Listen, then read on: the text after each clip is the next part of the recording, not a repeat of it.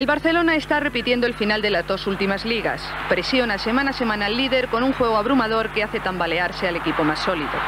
Ayer 4-0 sobre el Sporting con goles de auténtico lujo. La trayectoria azulgrana ha aumentado el atractivo de su enfrentamiento al Real Madrid del próximo sábado. Ahora es un día para, para ganar allí, pero sobre todo no solo para ganar contra el Madrid, pero para ganar el campeonato, eso es lo más importante.